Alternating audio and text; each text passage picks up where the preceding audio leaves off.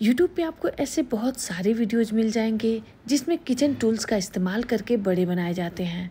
लेकिन जब बनाने की बारी आती है तो ये जो सारे टूल्स हैं, वो फेल हो जाते हैं और काम आते हैं तो सिर्फ़ हमारे ये हाथ। और आज हम इन्हीं हाथों से एकदम परफेक्ट बड़े बनाकर तैयार करेंगे। यहाँ पर आप देख सकते हैं। फिर हम इसके साथ एक बहुत ही टेस्टी सा सांभर बनाएँगे। इसे हम बहुत ही डिफरेंट तरीके से बनाएँगे। और जो दोनों का कॉम्बिनेसन है ना, वो तो एकदम बेस्ट होता ही है। तो आप एक बार इस तरीके से सांभर बड़ा ज़रूर ट्राई कीजिएगा। आपको बहुत ही ज़्यादा पसंद आएगी। तो चलिए इसे बनाना शुरू करते हैं। तो सबसे पहले हम उड़द दाल को ओवरनाइट के लिए यहाँ हमने सोख करके रखा था। आप चाहे तो पाँच से छः घंटे के लिए भी इसे सोख कर सकते हैं। ये एक कप उड़द की दाल है। अब हम इसे मिक्सी के जार में डालेंगे और इसे एकदम फाइन ग्राइंड कर लेंगे। यहाँ पर आप इसमें जितना कम से कम हो सके उतना पानी का यूज़ करें।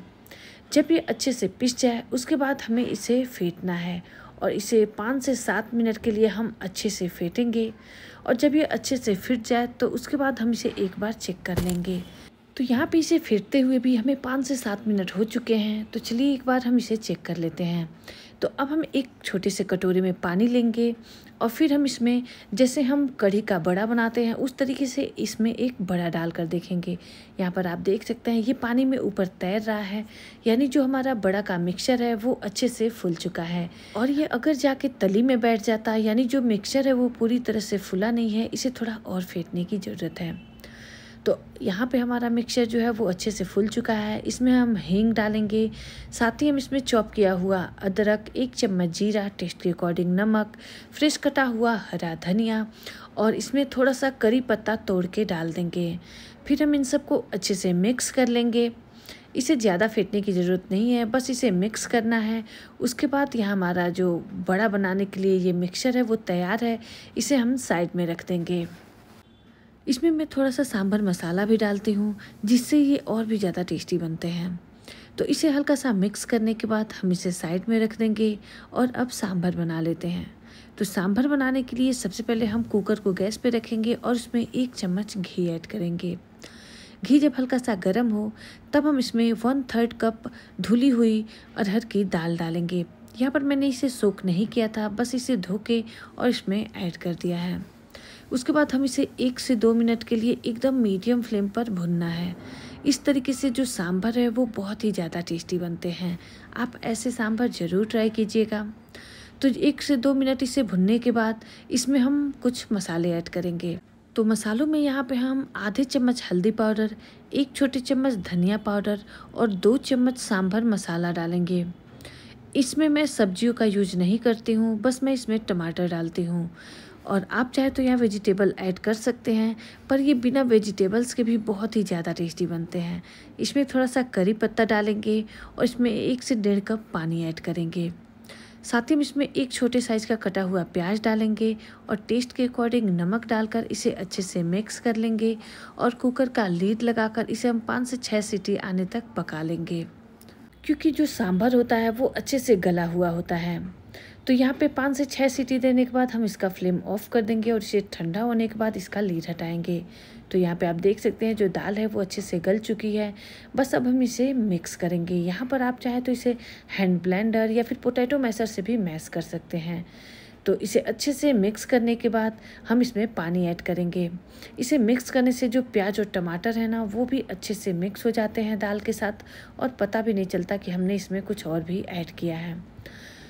तो यहाँ पे पानी डालने के बाद हम इसमें अच्छे से उबाल आने देंगे। आप अपने अकॉर्डिंग इसे जितना पतला गाढ़ा चाहें वैसा बना सकते हैं, पर ज़्यादातर जो सांभर है वो थोड़े पतले ही बनते हैं। तो एक बार जब ये अच्छे से उबल जाएगी, तब हम इसमें इमली का पल्प ऐड करेंगे। तो यहाँ पे मैंने थोड़ी सी इमली को पानी में सोख करके रखा था। इसे आप गर्म पानी में थोड़ी देर सोख करके रखें और फिर हमने इसका पल्प निकाल लिया है। ये दो चम्मच पल्प हम इसमें ऐड करेंगे। यहाँ पर आप चाहे तो इसमें थोड़ा सा गुड़ भी ऐड कर सकते हैं। अब एक बार अच्छे से मिक्स कर लेंगे और चार से पाँच मिनट इसे और पका लेंगे। तो यहाँ पे हमारा जो सांभर है वो अच्छे से पक चुका है। अब हम इसे साइड में रखेंगे और इसका एक फाइनल तड़का लगाएँगे।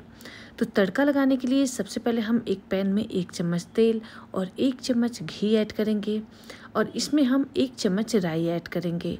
राई को थोड़ा सा तड़कने देंगे, साथ ही हम इसमें थोड़ा सा हींग भी ऐड करेंगे। इसे हम हल्का सा कवर कर देंगे क्योंकि इसमें से बहुत ज़्यादा छीटे उठते हैं। तो जब राई का जो कलर है वो थोड़ा ब्राउन हो जाए तब हम इसमें बाकी की चीज़ें ऐड करेंगे।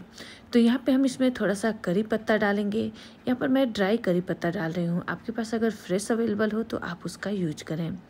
फिर हम इसमें तीन सूखी लाल मिर्च डालेंगे और इसे हल्का सा भून लेंगे। फिर हम इसमें एक चम्मच लाल मिर्च का पाउडर डालेंगे। और यहाँ पर गैस का फ्लेम ऑफ़ कर देंगे। तब इसमें लाल मिर्च पाउडर डालेंगे।